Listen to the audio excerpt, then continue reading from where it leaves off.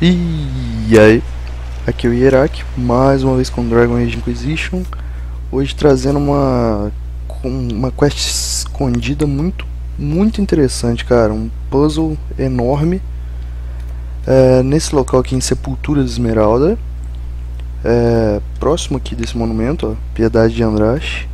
Vocês seguem pra frente aqui um pouquinho, vocês vão ver essa pedra. E aqui atrás vocês vão achar esse morto. Vai ter um livro aqui do lado dele com o seguinte códice aqui. É, não sei o que isso significa. Será uma alegoria? Não sei nem mesmo onde o pai conseguiu essa baboseira incoerente. Ele gastou a vida toda para descobrir que isso aponta para objetos na sepultura esmeralda, e agora tenho que terminar seu trabalho. Isso vai acabar me matando. Por que o seu último desejo foi que eu descobrisse? Que tipo de pai pede isso a um filho? Depois disso tem várias afirmações aqui, várias descrições de locais aqui de Sepultura Esmeralda, entendeu? E ele estava se referindo aqui a uma primeira passagem, além da misericórdia de Andraste, uma centena de passos para a revelação. No caso, eu acho, né, não tenho certeza, que o pai dele deve ter deixado essa última aqui como um, o primeiro passo a ele seguir, entendeu? Por isso aqui no final ele escreve 12. Sei que o décimo segundo é importante. Se você vem aqui no 12, tem aquela mesma citação lá da frente. A misericórdia de Andraste, você pode ver como a piedade de Andraste, que provavelmente foi alguma falha na tradução aqui do Brasil, para variar.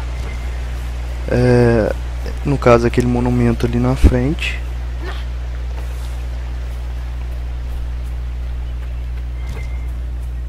E aí, é basicamente isso. Você tem que seguir nos passos para no final, é, para chegar no final, entendeu? Como você viu ali, é, como o cara falou ali, o pai dele descobriu que todos aqueles ali são lugares, são lugar, locais aqui em Sepultura Esmeralda. E e aí alguns locais desses você vai ter que ir, entendeu? Então voltando aqui, ó. Além da misericórdia de Andraste, centenas de passos para a revelação. No caso, você pega aqui nas costas dela, porque além, né?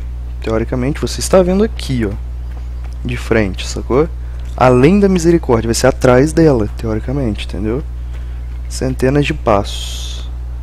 Aí era suposto para você realmente dar centenas de passos aqui nessa direção, mas nem tanto assim, é bem pertinho. E aí aqui você já vê que vai piscar o mapinha ali já, ó. Você vai pegar esse primeiro cubo mágico. Escrito em um cubo estranho, um tosco 3. Você volta lá no códice.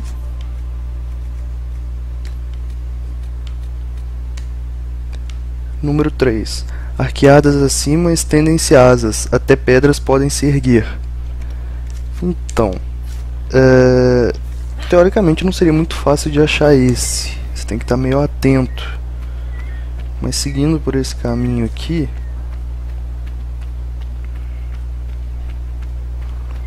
vocês vão ver ali na frente aquela estátua de... Pô, mas agora não era hora de aparecer esses bichos, né? os inimigos, né, cara? Acho que tem um rogue aí que vai vir me esfaquear pelas costas aí.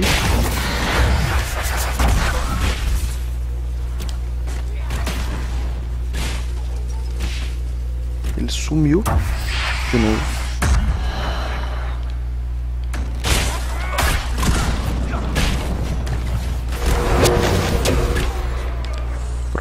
Voltando aqui, vocês veem ali que tem um, uma estátua semelhante a alguma coisa que voa, né? Um grifo, um falcão, o que for. Um, um, grifo não é, né? Tô com muito The Witcher na cabeça, mas um falcão, né? Então tem asas, até as pedras podem erguer-se, né? Era mais ou menos isso que estava escrito lá.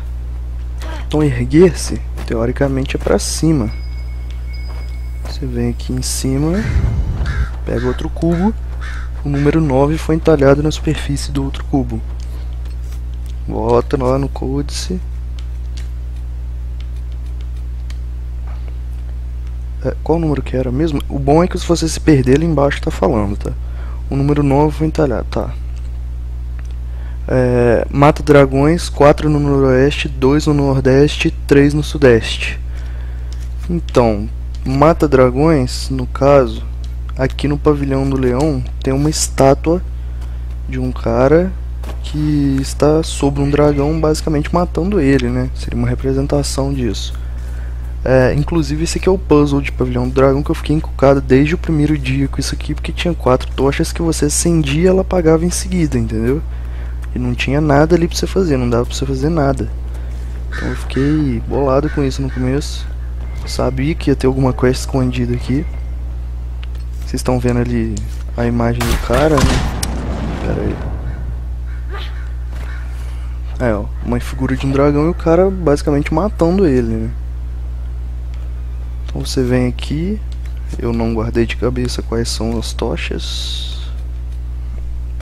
É. 9, né?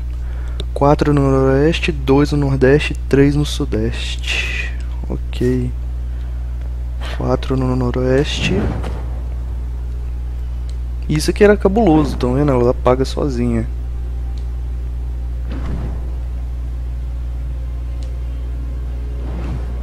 Três. É... Caramba, é três ou é duas agora, hein?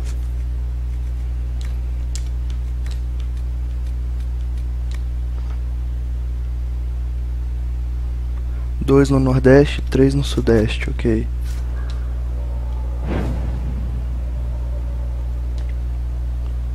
Para quem não entendeu, é mais ou menos o esqueminha que, como se aqui fosse o centro. O centro aí tem a bússola, sacou? É as orientações, ó. 3 no sudeste. Assim que você acabar de acender a terceira vez, aparece aqui no centro magicamente, né? Um outro cubo 20 escrito em vermelho. Vermelho provavelmente sangue, né? Deduz-se que seja. 20, a última instrução. Ao primeiro sopro de suspiros. Aí aqui já entra uma parte de analogia e entendimento, né? É, primeiro sopro, né, e de suspiros seria no caso um nascimento de um, um humano, um animal, qualquer coisa assim. Primeira vez que vai ocorrer um sopro é no nascimento deles. Então eu pelo menos interpretei assim que seria nascimento mesmo. Então nascimento no caso que você pode achar de semelhante aqui no mapa, nascimento de água, a nascente, certo? Você vê de onde que ela nasce aqui, ó, esse rio todo, aqui na pontinha do mapa. Tinha uma aranha ali na moita, né? Só esperando.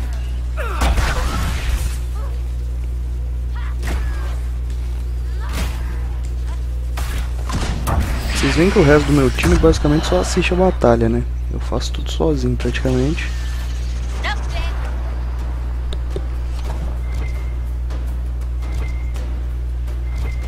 E aí tá ali a nascente, que é o local mais... Na verdade não é bem uma nascente ali, mas nesse mapa seria, né? O local de onde está vindo a água. Porque você não pode avançar mais lá pra cima, né? Pra ver de onde ela realmente está vindo lá, ó. Quem não sabe, uma nascente ela vem debaixo da terra, entendeu? Não é bem igual tá vindo ali uma cachoeira. Você ativa aqui, o número 14 foi estampado por todo o último cubo já ficou esclarecido que esse aqui é o último, né? O último de orientação, pelo menos. Número 14. É, um dedo apontado para cima onde fica seu coração. E aí já começa a filha da putagem. Até essa parte aqui eu tinha chegado sozinho, cara. Porque eu gosto desse tipo de enigmas. Pra você pensar, entendeu? Não é só você chegar e pegar alguma coisa e pronto. Você tem que usar a sua cabeça. Até essa parte eu tinha chegado sozinho. Mas aí, Brasil é Brasil, né? Sempre tem que ter uma merda atrás, né? É, o códice, deixa eu ler de novo aqui porque eu já não lembro exatamente. A descrição é a seguinte: Um dedo apontado para cima, onde fica seu coração um dedo apontado para cima, na versão inglesa, seria a torre é, que eu marquei aqui no mapa. Deixa eu mostrar ela novamente para vocês aqui. É, essa aqui e o nome dela é Saltfinger alguma coisa, entendeu? Saltfinger seria mais ou menos sul dedo, entendeu? Então, dedo do sul. É, e aí o que, que acontece? A desgraça do brasileiro que foi traduzir isso traduziu como vigia da ponta do sul. O que, que tem de dedo aí no meio? Eu desisti da quest, cara. Porque, não, não é que eu desisti, eu procurei pra caralho não, não descobri. Entendeu? Simplesmente achei, ah, não sei, não deve ter um final, às vezes aquele era, era o último cubo mesmo. Embora eu não acreditasse muito nessa hipótese, né, mas a partir do momento que eu não achava como continuar, eu deduzi que não tinha como, ou tinha algum bug, sei lá, pra mim só, que eu não tava achando. E aí você acha aqui, ó. Não sei exatamente porque a parte do coração ali, né? Onde o seu coração aponta, alguma coisa assim. E aqui no final tá boneca infantil deformada. Boneca infantil de aparência estranha com uma etiqueta com o nome tesouro. E aí nesse momento que você pegar ela, se você tiver com nível baixo, não pegue ela por enquanto, né? Vai aparecer o tesouro. Você tá achando que isso é uma coisa boa? Então espera aí. Você vai ser emboscado por esse bicho aqui, né? E é bom, ele é ele ganha guarda rápido, igual todos os demônios de gelo. Guarda não, barreira, né? Aí você custa pra conseguir matar. Ah, já pegou já. Então vamos matar os outros ali primeiro. Isso porque eu tô no nível alto, hein? Eu não consegui matar ele de primeiro ali, porque eu também tô no nível alto também, né? 19, eu acho. Isso. Aí essa barreira aqui é meio alta, né? Demora pra acabar. Se você estiver no nível baixo, cara, é suicídio pegar isso aqui por enquanto. Óbvio que não se compara a um dragão. Aí o que, que você pensa? Vai ter no mínimo uns dois itens únicos nesse drop aqui, né? Pô, esse trabalho todo, essa quest toda aí demorada para pegar isso aqui. O que, que acontece? Essência de gelo intensa. Se você estiver no nível baixo, você ganha só essência de gelo, não é nem essência intensa, entendeu? E acredito não sei se você pode pegar uma mais rara que intensa, né? Existe ela, mas não sei se nessa quest você poderia pegar, entendeu? Não me lembro o nome dela também. É, pura, né? Acho que seria pura. Essência de gelo pura. É, mas eu não sei se eu tivesse com nível 25 aqui eu poderia pegar, entendeu? Eu tô no 23, eu acho. E aí é isso, cara. Não tem conclusão essa quest. Era só isso mesmo. Não, tem uma conclusão, não tem um prêmio, entendeu? Você lê aquela boneca lá, você acha que você vai ganhar um tesouro mesmo e não ganha nada, né? Mas então era só isso nesse vídeo. Eu demorei pra fazer essa quest, né? Tinha gente me pedindo aí, mas eu não conseguia concluir, cara. Eu desisti fui olhar no YouTube, entendeu? Fui olhar de outros gringos aí. Mas teve bom, né? Porque é uma torre, entendeu? Que deveria se chamar Salt Finger, então deveria ser dedo do sul, sei lá, não interessa, cara. Tinha que ter dedo no meio. Faz parte da quest, os caras traduziram muito mal, cara. Brasil é uma desgraça.